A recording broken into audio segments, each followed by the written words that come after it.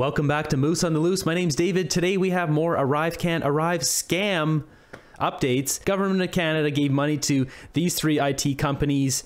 GC Strategies, which is a company that only has two employees, uh, Kristian Firth being one of them. This is a guy who who changed the resumes of these two people from Botler. He hired Botler to make sure they qualify as someone to do the the ArriveCan app. This guy Kristian Firth pocketed millions and got Botler to do the app for him. The Auditor General was brought down to testify at a hearing in October 12th, and the Liberals adjourned the meeting. Is this not corrupt? On top of this, the Auditor General only found out about the RCMP investigating the Arrive scam from a from a, a media report from the news. Today, an emergency meeting is being called. This committee has asked for the, the Auditor General to appear to discuss the, the report on ArriveCan. This is ahead of the scheduled report being tabled to Parliament in mid February, is my understanding. And I, for, for a couple of reasons, I don't think this is uh, the right way to go. Brock, you have the floor for six minutes, please.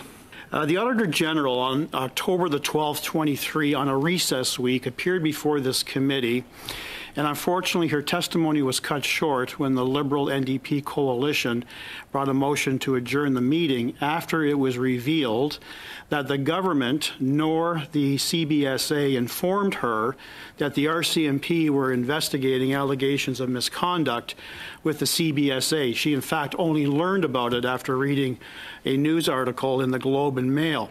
With that in mind, has the Prime Minister and his government been open and transparent by releasing all documentation as requested by your department? We make our requests for information directly to the departments and agencies involved in our audits, and we have received uh, the responses that we expected from uh, from those agencies and departments. Your office has a mandate that when you uncover some element of criminality, you are to refer that to the RCMP. Is that correct? When we identify issues that could raise the, the potential of criminality, we do identify for the RCMP. The RCMP has been already uh, informed of a matter by the Canada Border Services Agency. At the government operation uh, committee level, we have seen unprecedented levels of misinformation uh, being shared by order, government Chair. officials.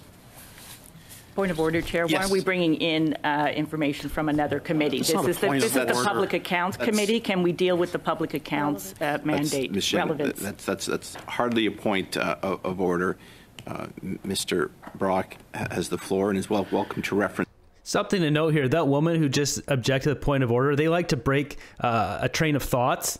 It's it's a really dirty tactic. And if you notice too, my previous video where Trudeau comes out of hiding and just babbles a speech at his caucus, the woman who just objected is the one who kept on chanting six more years for Trudeau. Good to see you.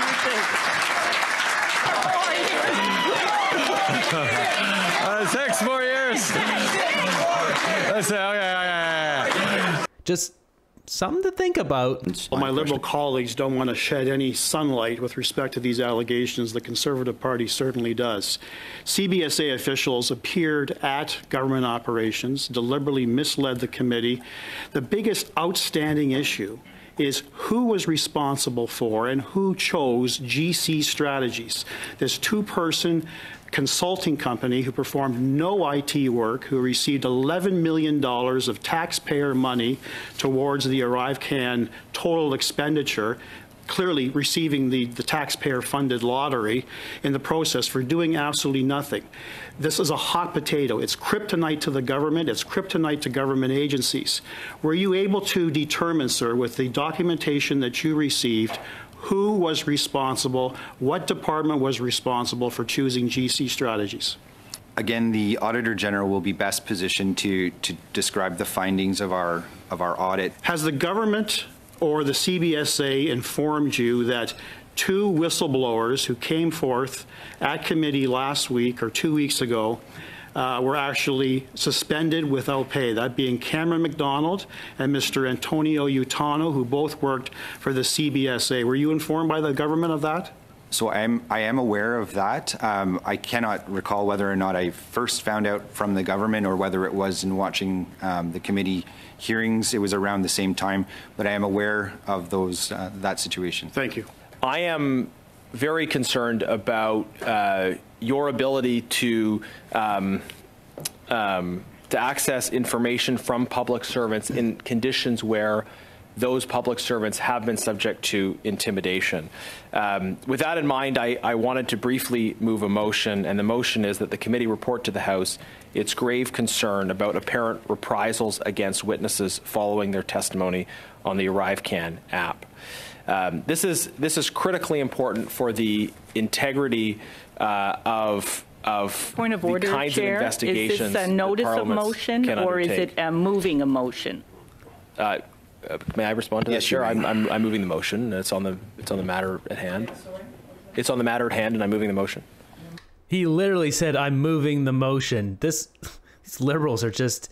I swear they, they were looking at his eyes and hi- you know the wheels turning as he's trying to formulate what he was trying to say, and then that's when they they jump in there really to mess with your head and not be able to get out what you're trying to say. It's dirty tactics, man. I, I think I think the committee will hopefully be able to dispense with this quickly. Um, uh, to, to review to review the facts very quickly, we had testimony at the Government Operations Committee, uh, explosive testimony uh, from Mr. MacDonald and Mr. Utano.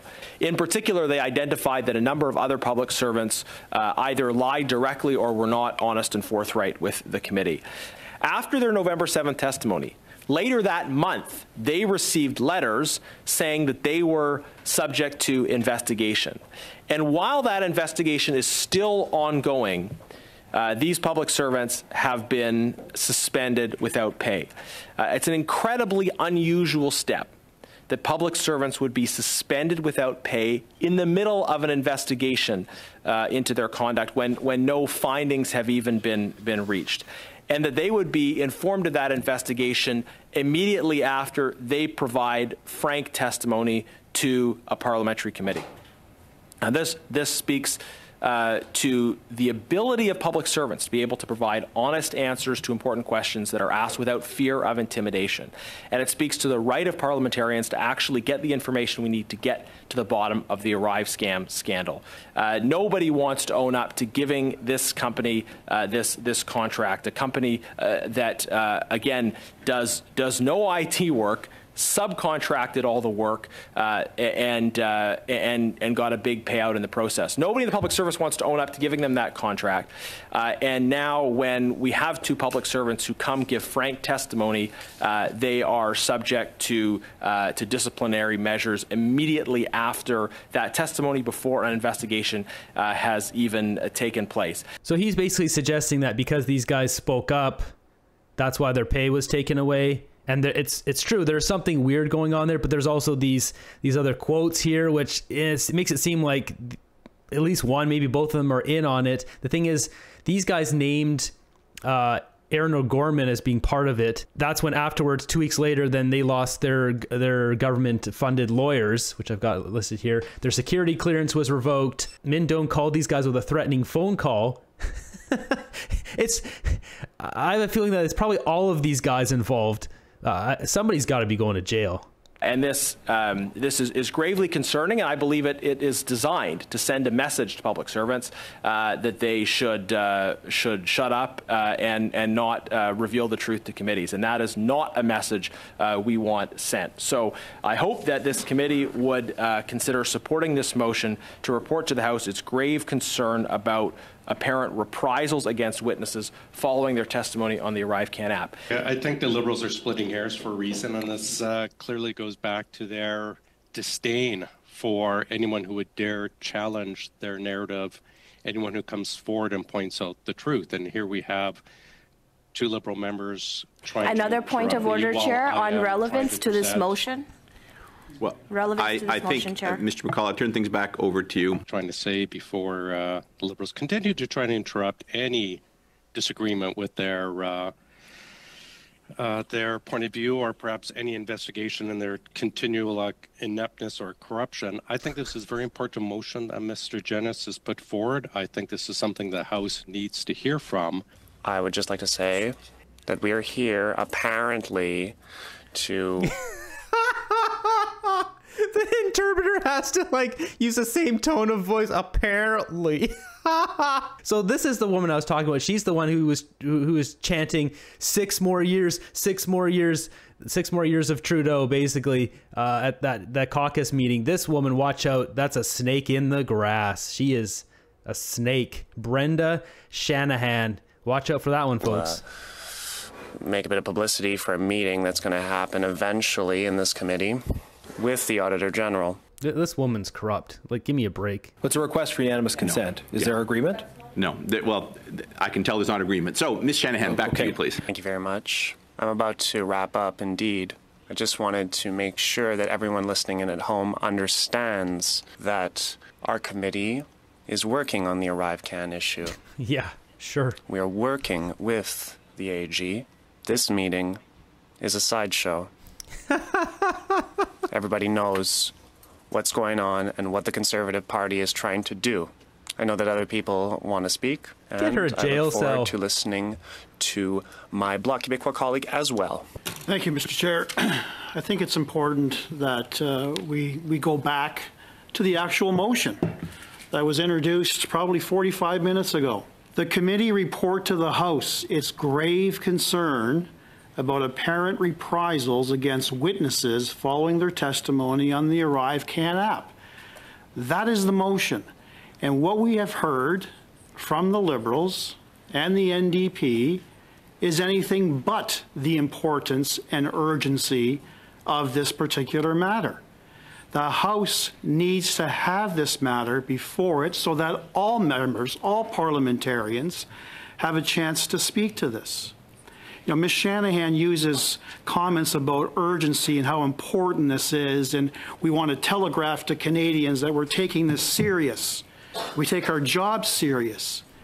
But she forgets exactly what happened October the 12th when the Auditor General appeared. And after they were embarrassed, the entire Liberal bench embarrassed, as well as the NDP, that the Auditor General, you know, you, you, Ms. Shanahan, you can laugh all you want, but Canadians are watching me, and they're watching you laughing at me, and it's not a good look.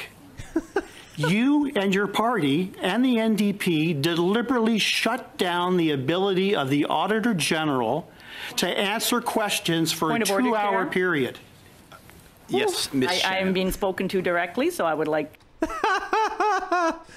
He's laying it on thick. I, I love that guy. He's awesome, Larry Brock. What a what a good person to have in Parliament. uh, to Very uh, good. That's a- respond to that. That is a- and and there is there is no shutting down going on. We were proceeding with this work on Bonnet du Fort. Thank you. And um, Mr. Brock, that he doesn't like the timing of it. Um, I'm sorry, I Thank you. can't help him there. and she can remind Canadians of what she did, but the fact of the matter remains that after they were embarrassed, that the government did not inform, nor the CBSA inform the Auditor General, who was starting an investigation now that the RCMP were involved, was an absolute embarrassment. The Auditor General confirmed she only read about it, knew about it, after reading the article in the Globe and Mail. I was the one that asked that question, Mr. Chair, and the moment I concluded my round, this was the first round of questioning to the Auditor General, the first member of the Liberal bench who had the floor moved to adjourn, which I believe was Miss, Miss Khalid, who moved to adjourn, and they had the votes to adjourn the meeting thereby wasting the ability of the Auditor General to shed light on the full parameter of this ArriveCan audit. And now, over the course of several months, which is the genesis behind the wording in motion number two, we have direct evidence that two senior members of the CBSA, Mr. MacDonald and Mr. Antonio uh, Utano, pointed fingers and identified the president, Ms. O'Gorman, and the past president, Mr. Ossowski, as well as Mr. Kristian Firth, had deliberately misled the Government Operations Committee. They informed the committee that they had evidence to produce to the committee to confirm their findings, that it wasn't just a he said, she said. They actually had witnesses who could come to committee to again support the findings of both Mr. MacDonald and Mr. Utano that our committee that this government, national government committee was deliberately misled by the CBSA. That is something that the Auditor General should be concerned about. In exchange for that testimony, they both received letters from their new respective employers, Mr. that they were now suspended due to allegations of misconduct were brought to the attention of the CBSA in November of 2022. And Ms. O'Gorman testified a number of times, Mr. Chair, at committee that she took that very seriously. So much so that she did an internal review, found that there was a prima facie case, and referred the matter to the RCMP for a full investigation in November of 2022. But interestingly enough, which goes to the heart of this motion, it would appear that the findings in support of the suspension without pay for MacDonald and Utano were only made after they testified truthfully and pointed fingers about CBSA officials lying to committee. Yeah, this is uh, so basically she filed that November 2022, and a year later, then she after she's named as part of this uh, Arrive scam, then suddenly those guys moved on to new jobs in different departments. They're removed without pay. Their government-funded lawyers are taken away. Eh, this something stinks. Something's really stinking in the government, and it's not just Justin Trudeau.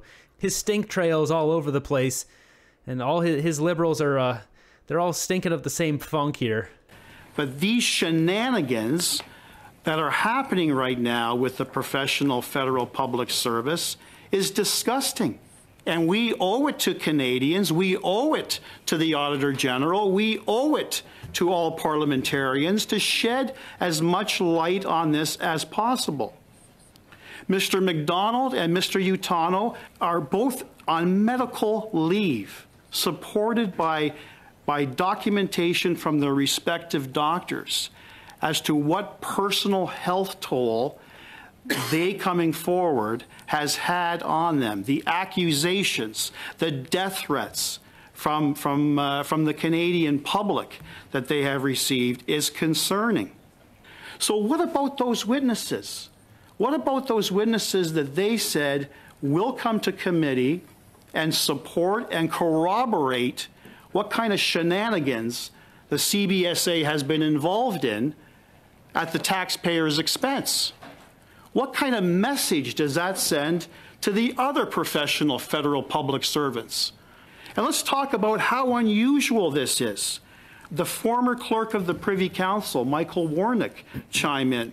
I cannot recall any other instance of such public disagreement. It is an outlier. Suspensions without pay are also rare. At this point, I'd, I'd like to seek the agreement of the committee uh, to proceed to a vote on this. Uh, just put, put, put the question to the committee. Is there is there agreement to proceed to a vote, or unless I'm, see, I'm seeing no. So from from where are you saying no? Well, I, I hear no, Mr. Point, point of order. I, am saying yes, uh, Mr. Chair. Yes, let's proceed to the vote, please. Well, great. Would members like to vote? Yes. Great. Yes. Okay. Shall the motion of Mr. Genuis carry? Yes. Ms. Bradford? No. Mr. Chen? No. Ms. Khalid? No. Ms. Shanahan? No. Ms. Yip? No. Mr. McCauley? Yes. Mr. Genuis? Yes. Mr. Brock?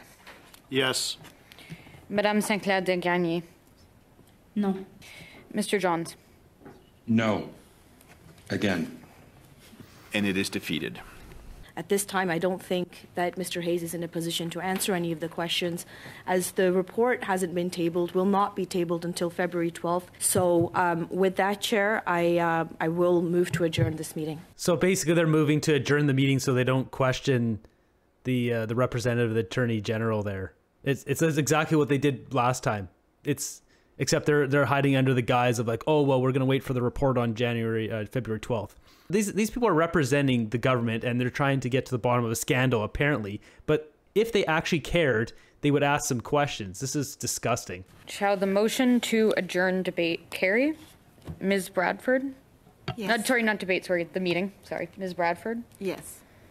Mr. Chen? Yes. Ms. Khalid? Mr. Chen? Ms. Khalid? Mr. Chen? Ms. Yip? Yes. Mr. Colley? Nope. Mr. Genuis? Uh, nope. Mr. Brock? No, conservatives believe in accountability. Thank, thank you, thank you. I, I, I, I agree. Madame Sacrard Desgagnés? Oui. Brock is a legend, Mr. man. Johns? Gord Johns, man, that's my representative. I am not happy with that slug being my representative. This meeting is adjourned. So you can see here, Garnett Genuis is pulling out his phone. And so I got the video for that. He starts recording a, a, a video here just to show off and expose exactly what just happened here. We got that up. the NDP just adjourned in the middle of the meeting. We had uh, representative of the Auditor General's office coming here to testify about the important work the Auditor General is doing investigating the Arrive scam scandal. Liberals, New Democrats did not want to hear that testimony, so the NDP Liberal Corrupt Coalition adjourned the meeting in the middle uh, after we had barely had a chance to get any questions answered. We also tried to move a motion expressing our concern about the intimidation and reprisals against uh, against witnesses who have spoken out against what happened in Arrive scam, and the NDP Liberal Coalition defeated that motion. Absolutely shameful. This is exactly what we expect from this corrupt liberal NDP coalition. They did the same thing when the actual Auditor General appeared at this committee on October the 12th. One round of questioning brought from myself as a conservative. This is shameful. We'll continue to pursue the truth. Uh, this is just unbelievable. It's like the same thing over and over. Corrupt liberals. We need some. Once Poilievre gets into power, we need some new laws that protect Canadians and put Canadians first, so this can never happen again. If we have to put in the pitchfork law, that if if we, if if we deem necessary, we will show up at Parliament with pitchforks. Like we need something. We need some either some sort of other governing body that holds the RCMP to account. Maybe it's military governance that is not related to RCMP or whatever it is. I don't know what it is, but the corruption is rampant. That's all I got for you guys today. Be sure to subscribe, hit the thumbs up button. If you're looking for something a little bit more chill, I have a silent hiking channel. It's Bootsteps in the Forest, calm, peaceful, relaxing. Put on while you're cooking, eating, relaxing, studying, whatever, something like that. If not, I got some more Trudeau madness. Be sure to subscribe. I'll see you on the next one.